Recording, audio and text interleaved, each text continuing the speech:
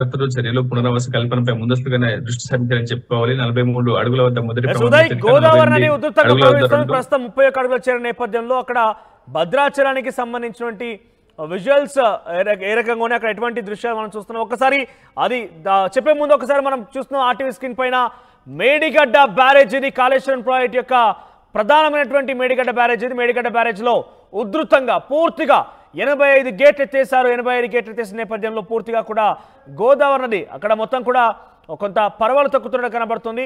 So ఒక danger ప్రమాద గంటికలు మోగిస్తూనే గోదావరి నది పూర్తిగా అటు రెండు ఇరువైపులా ఉన్నటువంటి ఆ- ఒడ్లని కూడా అంటే ఆ పక్క ఉన్నటువంటి ఆ పరిసర ప్రాంతాలను కూడా తాకుతూ చాలా క్లియర్గా మనం విజువల్ చూస్తున్నాం. అద్భుతంగా కనబడుతోంది.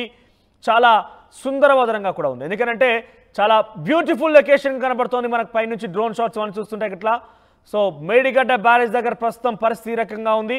సో పెద్ద ఎత్తున గోదావరి నది ఉధృతంగా ప్రవహిస్తోంది. ఇరువైపులు ఉన్నటువంటి ఆ డ్యామ్ను మొత్తాన్ని కూడా తాకుతూ మొత్తం ఎనభై ఐదు గేట్ల నుంచి కూడా ఒకే రకంగా ఆ సుందరమైనటువంటి దృశ్యాలు మనం చూస్తున్నాం. బ్యూటిఫుల్ లొకేషన్గా చెప్పొచ్చు. కానీ ఈ కొంత డెఫినెట్గా దాని కారణంగా ఈ వరద ఉధృతి కారణంగా లోతట్టు ప్రాంతాల ప్రజలు కావచ్చు ముఖ్యంగా భద్రాద్రి కొత్తంగూడ జిల్లాకు సంబంధించిన ప్రజలు కూడా కొంత ఇబ్బందులు పడే అవకాశం అయితే ఉంటుంది. ఎస్ మనతో పాటు ఉదయ్ ఉన్నారు. ఎస్ ఉదయ్. సో ఈ గోదావరి నది ప్రవాహం వల్ల భద్రాచలానికి సంబంధించిన ఆలయ పరిసరాలు ఎటువంటి దృశ్యాలు మనం చూడొచ్చు? ఎట్లా ఉంది సిచ్యువేషన్ అక్కడ?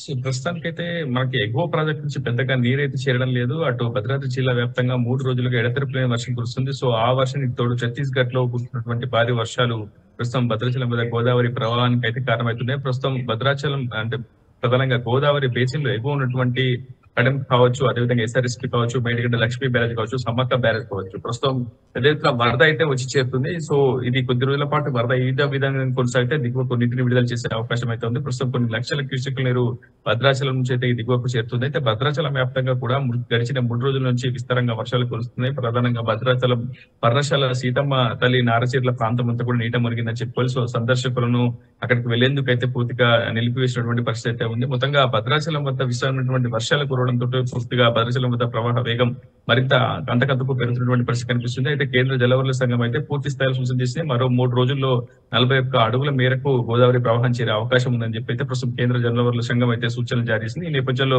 జిల్లా యంత్రాంగం కూడా ఎప్పటికప్పుడు అప్రమత్తమవుతూ సమీక్ష సమావేశాలు నిర్వహిస్తుంది. పోలవరం కాపర్ డ్యాం కారణంగా కూడా కొంత బ్యాక్ వాటర్ ముక్కు పొంచి ఉన్న నేపథ్యంలో భద్రాచలం వద్ద గోదావరికి ప్రవాహ వేగంతో పాటు నీటి పట్టం స్థాయి పెరుగుతుందని అయితే ఇప్పటికైతే కేంద్ర జలవరుల శాఖ అధికారులు అయితే అంచనా వేస్తున్నారు. ప్రస్తుతం ఎటువంటి సహాయక చర్యలు తీసుకోవాలి? ముందస్తు జాగ్రత్తలు ఏ విధంగా తీసుకోవాలి? ఏ రక్షణ చర్యలు పాటించాల్సిన అంశంపై ఇప్పటికే జిల్లా యంత్రాంగం అంతా కూడా సమీక్ష సమావేశాలతో ముందుకు వెళ్తోంది మనోజ్. ఎస్, ఇంత గోదావరి నది ప్రవహిస్తున్న నేపథ్యంలో లోతట్టు ప్రాంతాలు అంటే భద్రాచలానికి సంబంధించి కొన్ని ప్రాంతాలు కావచ్చు అటు పోలవరానికి సంబంధించి కొన్ని ప్రాంతాల్లో కావచ్చు కొంత ఎఫెక్ట్ పడే అవకాశం కూడా ఉంటుంది. సో ఈ నేపథ్యంలో ఎటువంటి రక్షణ చర్యలు చేపడుతున్న అధికారులు వారిని ఎక్కడికి తరలించే అవకాశం ఉంది?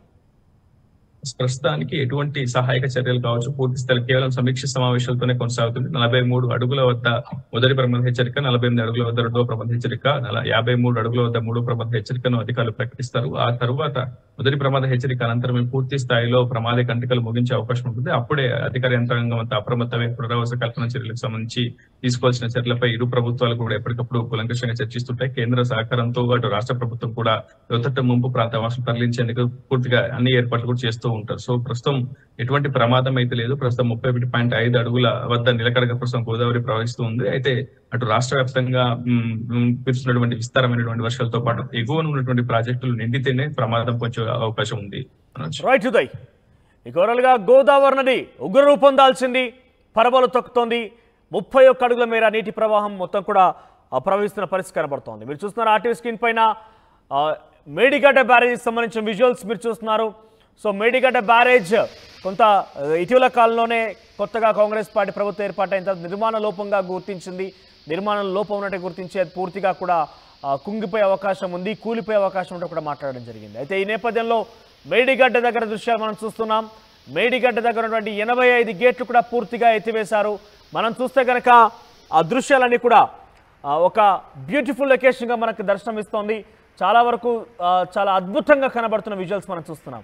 ఇరువైపులా అంటే అటువైపునటువంటి ఆ ఒడ్డుని ఇటువైపునటువంటి మరోవైపు ఒడ్డుని అంటే రెండు ఒడ్లను కూడా పూర్తిగా గోదావరి నది తాకుతూ ఉధృతంగా ప్రవహిస్తోంది. ఎనభై ఐదు ఏట్లు గేట్లు కూడా పూర్తిగా ఎత్తివేశారు. దిగువకి నీటిని విడుదల చేస్తున్నారు. అక్కడ ఎటువంటి నిలిపేసే అవకాశం కూడా లేదు. ఎందుకంటే అది నిర్మాణం కొంత ఇబ్బందికరంగా ఉంది. అది కూలిపోయే అవకాశం ఉంటే కూడా అధికారులు చెప్తున్న నేపథ్యంలో నేషనల్ డ్యామ్ సేఫ్టీ అధికారులు కూడా సూచనలు చేశారు. ఎట్టి పరిస్థితుల్లో ఇప్పుడు నీళ్ళు నిలిపలేమంటూ కూడా వాళ్ళు చెప్పడం జరిగింది. ఈ నేపథ్యంలోనే పూర్తి గేట్లను కూడా ఎత్తివేయడం జరిగింది. ఆ గేట్లు ఎత్తివేసిన నేపథ్యంలో మీరు చూస్తున్నారు పిల్లర్స్ దాదాపుగా చాలా ఉధృతంగా ప్రవహిస్తుంది చెప్పొచ్చు. ఎందుకంటే అక్కడ పిల్లర్స్ మనం చూస్తున్నాం. ఆ పిల్లర్స్కి చాలా దగ్గరగానే దగ్గరగానే ఆ నీటి ప్రవాహం కిందికి వెళ్ళడం చూస్తున్న నేపథ్యం చూస్తే కనుక డెఫినెట్గా చాలా పెద్ద ప్రమాద గంటికలు ఉగ్రరూపం దాల్చిందని చెప్పొచ్చు. సో మేడిగడ్డ దృశ్యాలు చాలా అద్భుతంగా ఉన్నాయి. చాలా సుందరంగా కనబడుతుంది. చాలా బ్యూటిఫుల్ లొకేషన్ అని చెప్పి చెప్పొచ్చు. చాలా వరకు కూడా ఈ లొకేషన్ చూస్తుంటే కనుక డెఫినెట్గా అందరు కూడా ఆశ్చర్యపోతూ ఉంటారు. పూర్తిగా కూడా గోదావరి నదియేనా అన్నట్టుగా వాళ్ళందరూ కూడా ఆశ్చర్యపోయే అవకాశం ఉంది. సో ఎనభై ఐదు గేట్లు కూడా పూర్తిగా ఎత్తివేశారు మేడిగడ్డ బ్యారేజ్ సంబంధించి దాని దృశ్యాలు మనం చూస్తున్నాం. ఇక మరోవైపు భద్రాచలానికి సంబంధించిన దృశ్యాలు మనం చూస్తే కనుక భద్రాచలంలో కూడా ఇదే స్థాయిలో గోదావరి నది ఉగ్రరూపం దాలుస్తోంది. దానికి సంబంధించి తాలిపేరు ప్రాజెక్టు వద్ద పూర్తిగా గేట్లు కూడా ఎత్తివేసినటువంటి దృశ్యాలు మనం చూస్తున్నాం. పద్నాలుగు గేట్లు ఎత్తివేయడం జరిగింది. మరొక ఆరు గేట్లను కూడా రెండు అడుగుల మేర ఎత్తడం జరిగింది. నీటి ప్రవాహాన్ని కిందికి వదులుతున్నారు దీంతో భద్రాచలం సంబంధించినటువంటి అక్కడ పర్ణశాల దగ్గర బహుశా అంతా కూడా. సో ఆ దృశ్యాలు కూడా మనం చూస్తున్నాం. అక్కడ పూర్తిగా కూడా నీటి ప్రవాహం వెళ్తున్న దృశ్యాలు మనం చూస్తున్నాం. సో మొత్తం మీద గోదావరి నది ఉధృతంగా ప్రవహిస్తోంది. అయితే ఇది మరింతగా చే పైకి వెళ్ళే అవకాశం ఉంది. మరింత ఉధృతమయ్యే అవకాశం ఉన్న నేపథ్యంలో మహారాష్ట్ర ఛత్తీస్గఢ్లో భారీ వర్షాలు పడుతున్నాయి. సో మరింతగా ఈ యొక్క ఉధృతం ప్రవాహం ఎక్కువగా ఉండే అవకాశం ఉన్నట్టుగా అధికారులు తెలుపుతున్నారు. సో మొదటి హెచ్చరికగా నలభై మూడు అడుగులకు రెండవ హెచ్చరికగా నలభై ఎనిమిది అడుగులకి ఇక మూడవ హెచ్చరికగా యాభై అడుగులకి. సో మూడవ హెచ్చరిక కనుక చేరిందంటే డెఫినెట్గా అది ప్రమాద గంటికలే కాదు ద మోస్ట్ డేంజరస్గా మారే అవకాశం ఉండే కనబడుతోంది. ప్రస్తుతానికైతే ముప్పై ఒక్క అడుగుల మేర నీటి ప్రవాహం వెళ్తోన్న సందర్భాలు మనం చూస్తున్నాం. ఆ దృశ్యాలు మనం చూస్తున్నాం. సో ముప్పై ఒక్క అడుగులుగా ఉంది. నా సాయంత్రం అది ఇరవై అడుగు ఇరవై ఆరు అడుగుల నుంచి ఒక్కసారిగా ముప్పై ఒక్క అడుగులకు చేరింది. చాలా ఉధృతంగానే ప్రవహిస్తోంది గోదావరి నది. గంట గంటకి ఈ వరద ప్రవాహం పెరుగుతున్నట్టుగా తెలుస్తోంది అధికారులు చెప్తున్నారు. ప్రస్తుతం అయితే అధికారులు సమీక్ష నిర్వహిస్తున్నారు. ఒకవేళ కనుక సామర్థ్యానికి మించి ఇక్కడ మనం చూస్తే కనుక నలభై మూడు అడుగుల్లో మొదటి హెచ్చరిక నలభై ఎనిమిది అడుగుల్లో రెండవ హెచ్చరిక యాభై మూడు అడుగుల్లో మూడవ హెచ్చరికగా చెప్తున్నారు కాబట్టి అది రోజు రోజుకు గంట గంటకి పెరుగుతున్న నేపథ్యంలో ఒకవేళ కనుక ఆ సామర్థ్యం మించి అది రెండవ హెచ్చరిక మూడవ హెచ్చరిక కనుక చేరుకుంటే ఎటువంటి రక్షణ చర్యలు చేపట్టాలి ప్రజలు ఏ రకంగా కాపాడాలి ఈ ఉధృతిని ఏ రకంగా ఎదుర్కోవాలనే విషయాల్లో అధికారులు ప్రస్తుతం సమీక్ష నిర్వహిస్తున్నారు. సో ప్రస్తుతానికైతే ముప్పై ఒక్క అడుగుల్లో నీటి ప్రవాహం గోదావరి నది ఉగ్రరూపం దాల్చి ముందుకు కొనసాగుతోంది. ఆ నీటి ప్రవాహం మనం చూస్తున్నాం ఆ టీవీ స్క్రీన్ పైన. సో ఇది మరింతగా ఎక్కువగా ఈ అవకాశం ఉన్నట్టుగా అధికారులు కూడా తెలుపుతున్నారు. సో ప్రస్తుతం ఈ ఉధృతి కారణంగా భద్రాచలానికి సంబంధించి పర్ణశాల వద్ద కొన్ని దృశ్యాలు మనం చూస్తున్నాం. సో పూర్తిగా అక్కడటువంటి ఉన్నటువంటి ఆ కొన్ని పర్ణశాలకు సంబంధించి కొన్ని ఆలయాలు కొన్ని చిన్న దృశ్యాలు కూడా మునిగిపోయినటువంటి విషయాలు మనం ఆర్టీవీ స్క్రీన్ మీద చూస్తున్నాం. ఇక ఎగువ ఉన్నటువంటి మహారాష్ట్ర ఛత్తీస్గఢ్లో భారీ వర్షాల కారణంగా గోదావరి నది గంట గంటకు ఉధృతంగా ప్రవహిస్తోంది. నీటి మట్టం పెరుగుతున్న దృశ్యాలు మనం చూస్తున్నాం.